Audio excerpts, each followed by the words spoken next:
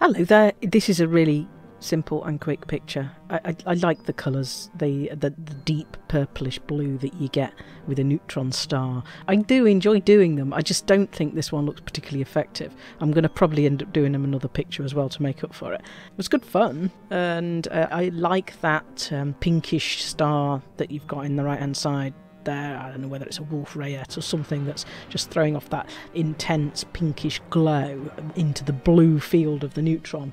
I think that looks good. I like scooping from neutrons. I know it's really bad for your frameshift drive and it takes a percent off each time off its integrity, but it's the buffeting and flying through that tunnel. It's great. It, it kind of makes you think of when you're in the hyperspace tunnel. Imagine if you could fly through the hyperspace tunnel in that way that you do through that the jet cone of a neutron star. They're cool. They're, I think they're a really great addition to the game.